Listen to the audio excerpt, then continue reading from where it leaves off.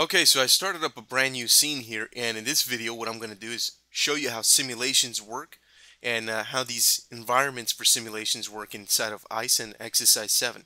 So let's just go ahead and jump in here and get started. First thing I need to do is open up an Explorer view, so I'll hit 8 on the keyboard to do that. Now I'll come over here to the uh, where it says scene root, and I'll switch the scope over to environments. And once I do that, you should see this environments uh, folder up here and there's nothing in here. The reason for that is it's empty. There's no uh, simulation environments in our scene right now because we just created this and we haven't made any simulations yet. So what is an environment uh, inside of XSI? Well, environments contain everything pertaining to simulations, including a few key uh, nodes that you need to be able to have simulations. Without those nodes, you wouldn't be able to have simulations in the XSI. So, how do we create these uh, simulation environments? Well, it's pretty simple actually. All you have to do is create something with ice. So let's go to primitive, polygon mesh, and we'll get ourselves a maybe a grid this time. Okay, so here's our grid. Every time you take an, uh, an object or something in XSI 7 and you go up here to ice and you create uh, an ice simulation, you notice something that happened over here. Now, there's an environment that was created for us. And by default, it's called environment. And inside this environment, there's a few things in here. There's this cache node, and we'll talk about that later on in a in a video, uh, probably after this one. Then we have also a simulation time control, and this special node controls a lot of things that pertain to our simulation, as we can see here, and that's what we're going to be talking about in this video. And then we have a forces group over here, and the forces group is uh, every time we create a new force in our scene, the force will be applied automatically inside this forces group because this is the current environment that's active right now. So for example, we come over here and we go to get force and then we grab ourselves say gravity. When we create that gravity force in our scene, you'll notice now that inside the forces group, XSI went ahead and placed our gravity uh, that we created inside of that forces group. So I'll just take that gravity and delete it since we don't need it right now. Uh, but at least you see how that works. And it's very important to understand these uh, simulation environments because, well, they control your simulation in your scene. And if you don't control them, how can you possibly control your simulation? See where I'm going with this? Okay, so now let's have a closer look at uh, the simulation time control here that controls the simulation of this environment. So I'll click on the little gradient icon to open up its PPG. Alternatively, I could have also selected the name here and hit enter on the keyboard to open up its PPG. Okay, I'll just pin that down. And we have two simple tabs here. Uh, when it comes to caching, we'll talk about that in the next video. In this one, I just want to focus on these uh, simulation controls over here. Okay, we play the simulation, pretty much what you would expect happens. The particles are, are uh, emitted, they're simulated in the scene all the way up to frame 100. So, let's go ahead and let's do this. Let's switch over to 1000 frames, but before I do that, I want you to notice some options here. We have these options for scene time, and it has a checkbox uh, mark for use start frame and one for use end frame. Okay, when I have those uh, those options turned on, what happens is that XSI goes, okay, so your frame range goes from frame 1 to frame 100. So we'll make the simulation last uh, about 99 frames because 1 to 100 is 99 frames. That's why you see the number 99 over here in the duration. And it's grayed out. We can't affect it right now because we have these options turned on. So if, for example, I go ahead and I change my frame range here to 1000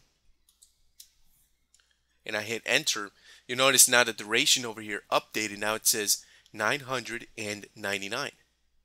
So these options here pretty much tell uh, simulation to go ahead and copy the numbers from down here automatically whenever I change them.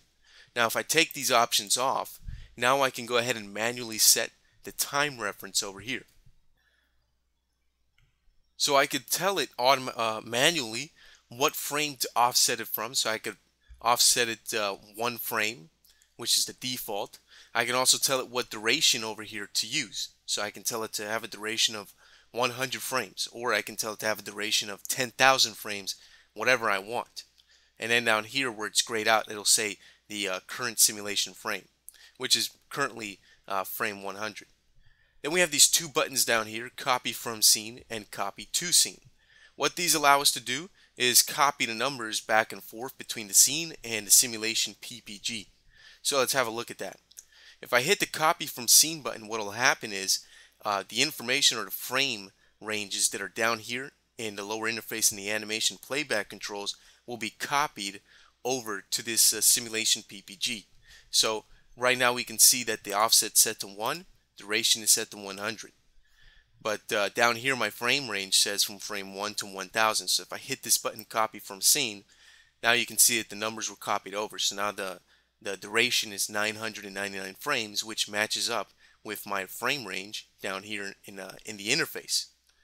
Now, if I want to change things around, however, for example, if I uh, if I change this uh, duration back to say 100 or whatever number I want, I'll just use 100 for the moment. Now you can see my frame range is still at 1 and 1000. But if I come up here and I hit this button that says copy to scene, this information inside the PPG will be copied over to the scene. So let's hit that button. And now you can see my frame range changed. And now my frame range goes from frame 1 to 101, which makes a duration of 100 frames. Okay, that brings us down to the, the actual play mode. And if we go here to this drop down box, we'll see we have three different play modes, standard, live, and interactive. The default play mode is live. Let's leave it on live for the moment and let me go ahead and adjust some of these parameters up here. What I'll do is I'll check on use start frame and use end frame so it goes back to the default behavior. And I'm just going to take my time slider here and push it all the way up to 1000. So now this uh, animation goes from frame 1 to 1000. I also want to turn on this looping button down here so it loops over and over again, makes things easier for me. Let's go back to the first frame of the animation. And what we'll do now is we'll just hit play. Select these particles here. We can now close this PPG over here, by the way. So, uh, I'm sorry, the, the Explorer window, go ahead and close that. Let's also, with the uh, point cloud selected, hit Alt and 9 to open up the ice tree. Double click on the emit from surface node. We can close the ice tree now. I'm going to pin down this uh, PPG. And we're going to make some changes here. First of all, let's switch the shape from point to sphere so we can see what's going on here. Let's also switch the shaded mode options up here to shaded. So there we go. Now we have little spheres. Let's take the size and increase it a bit. Okay, there we go. So what is the play mode called live? Well, in live play mode, every time I make a change, as you can see when I change the size of the particles, for example, the change is updated at the next frame. So as the simulation plays, every time I make a change, the next frame in the simulation inherits the change and I can see it update in the viewport. But you'll notice that only new particles that are created inherit the change. Old particles that are already floating and are seen up here don't uh, take the change into account. They stay the same size they were before. Only the brand new particles that are created at new frames inherit the new size or the new color or whatever uh, parameter I changed in the PPG, in this case the size. So that's the main thing to remember about uh, live mode. Also, notice that when the animation gets to the end and it loops back to the first frame, the particles stop emitting and start emitting all over again. So you notice right now when I get to the end, the particles stop and then it starts over uh, all over again. So let's go ahead and switch to play mode over here from live to standard and see how that works. Okay, so here's standard. You're going to notice there's a huge difference with live and standard. The first uh, difference you'll notice when you start moving these sliders around is that every time you make a change, you get all this calculation that happens. So standard mode actually uh, behaves a little bit slower than live mode. And you'll also notice something else. When I change the size of these particles, at the next frame, all of the particles change in size. Not just the new particles that are being created down here, but all the particles that are already shot in the scene also change size. So it works a little bit different than live in that sense, where um, all the particles will inherit the changes, and those changes will be calculated down here. And that's the reason why every time I make a change, you'll notice that it has to resimulate the frames and calculate um, from scratch basically up to that frame that I'm at right now. So this mode is great for when you're going to do your your final render and you're, you're doing a motion blur and things like that. However, when you're doing some testing and you're still setting up your, your particles or your simulation, standard mode may be a, a little bit too slow to use. uh, in regards to tweaking and stuff like that. So I would stay away from it during the tweaking and testing phases. Okay, now let's have a look at interactive mode. And in interactive mode can be a lot of fun. If you notice when I change the size of particles, it behaves just like live mode. Only the brand new particles that are created uh, after the current frame inherit the change, while the old particles in the scene just are pretty much left alone. So it works kind of like live, right? Well, it works a little bit differently actually. Watch what happens when the uh, animation slider over here gets to the end of the animation and loops again. Didn't exactly do what I expected it to, so we're going to edit that out of the video. Okay, starting again. Three, two, one. So the interactive mode is, as the name suggests, it's very, very interactive. We can, it's very, very interactive. We can, for example, take this, uh, this emitter down here and we can move it around and the particles will behave accordingly.